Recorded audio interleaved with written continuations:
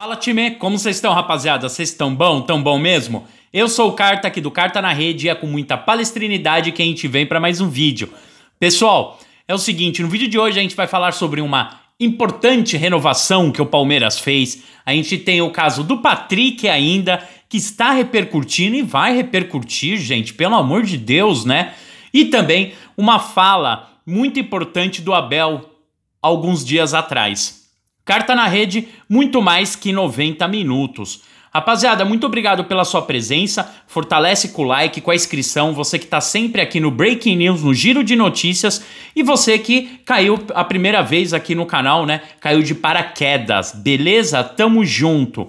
Então é o seguinte, pessoal, se você quer ganhar uma grana, uma renda extra, uma renda fixa, aqui embaixo tem o método home office, onde você consegue trabalhar de casa, ganhando em dólar, tudo isso com segurança, sem chefe em cima e conforme o seu tempo, não tem nada melhor. Beleza? Link na descrição. Pessoal, é o seguinte, então vamos, vamos falar um pouco mais sobre o PK? O Patrick De Paula só, se falou disso hoje, né? Não tem nem como, a não ser que você tenha acordado agora à tarde de um congelamento que você estava aí, né? Aí você vai começar a entender agora essa história. Ele saiu, foi pro rolê ontem, aí a, a, o pessoal encontrou ele, a torcida organizada, hostilizaram o jogador, cobraram, o jogador estava errado mesmo, é o principal de tudo. E a torcida do Palmeiras já falou: iremos cobrar, iremos cobrar. Os caras já estão até com e-mail aí para receber notificação do pessoal falando, ó, oh, tal jogador tá em tal lugar, tal jogador tá em tal lugar, jogador isso, para mandar fotos, vídeos, é o negócio tá, ué, descambalhou, meu, virou uma bola de neve. Né? Agora o pessoal vai fazer justiça no meio dessa loucura toda que a gente vive, porque os jogadores eles não se cuidam. Luiz Adriano tinha que estar tá afastado, estava indo no mercado. Um absurdo, um absurdo. Bom, aí o Palmeiras agora de manhã notificou já informou que deu 40% de uma multa de 40% no Lucas Lima e no Patrick e afastou o Patrick assim como o Lucas Lima. Inadmissível isso. O Palmeiras colocou. Cara, é o que a gente esperava, só que é aquilo, são notas, notas, notas assim, é, colocadas na internet pelo clube. A gente precisa, a gente precisa muito que o presidente do Palmeiras apareça que o Gagliotti apareça, que o Anderson Barros também apareça. Anderson Barros aparecendo não vai mudar nada. A gente quer o Gagliotti falando. A gente quer que ele venha e ele explique, ele fale, sabe? Isso é o que a gente quer. E o cara não aparece, não faz. É um absurdo, é um absurdo. No vídeo da manhã eu falei para vocês, é, quando me perguntaram se eu era contra a volta do futebol, eu era a favor, tá? Porque eu falei para vocês, imagina esses jogadores um ano aí em casa, o que eles não iam fazer de festa, esses caras cheios da grana, cheio da grana. Agora sobre o Abel, um amigo meu no Twitter ele colocou desse jeito. É, três dias atrás o Abel falando, tá? Quando ganhamos o que ganhamos, Libertadores, Copa do Brasil, com muitos guris, eu nunca sei, eu nunca sei qual vai ser a atitude deles no próximo ano. Olha só.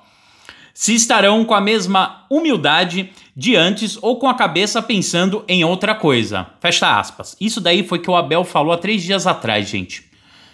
É impressionante, né? A visão desse cara. É impressionante. É por isso que a gente tá vendo o William Bigode, a gente tá vendo o Felipe Melo jogando, a gente tá vendo os veteranos. Hoje, o Bigode ele deu uma entrevista que ele falou também, ó, gente, a gente que os mais velhos, a gente procura conversar com a rapaziada, a gente fala, né? E isso é verdade, eu acredito. Porque esses caras são amigos. Ninguém quer ver um pior que o outro. Afinal, é uma equipe. E a, e a equipe bem, a equipe unida, os caras ganham títulos, é ótimo para todo mundo. Tem bicho, tem grana da Leila, tem grana da, do patrocinador, aí tem grana do outro lá que paga o campeonato, aí tem grana para todo mundo. Os caras estão felizes, mas aí os caras vão e me aprontam essa, né? É, cara, é um absurdo isso. Bom, seguindo a nossa linha de raciocínio, o Rony Hoje ele renovou o contrato com o Palmeiras. Palmeiras estava muito apreensivo porque já tinha recebido proposta do Ajax, outra proposta do time da Itália, e o Rony é um cara que está se destacando no time do Palmeiras.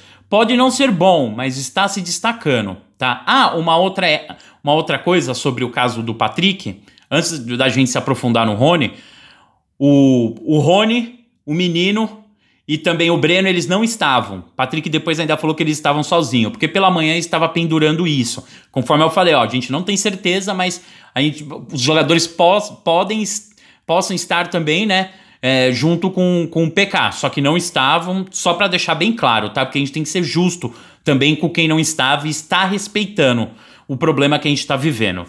Fica a mensagem. Então é o seguinte, pessoal. É, o Rony ele renovou o contrato com o Palmeiras até 2025. O Palmeiras recebeu algumas sondagens e estava preocupado, porque chega uma proposta aí cabulosa, né, um pouco acima da média o jogador sai do Palmeiras. Rony, que ele é, agora tem um aumento salarial, alguns dizem que é um milhão, outros dizem que não é. Bom, isso daí eu acho que é assim: o cara que tá entregando, eu nem vou me meter nisso. Isso daí é problema do Palmeiras, do jogador, do empresário do jogador.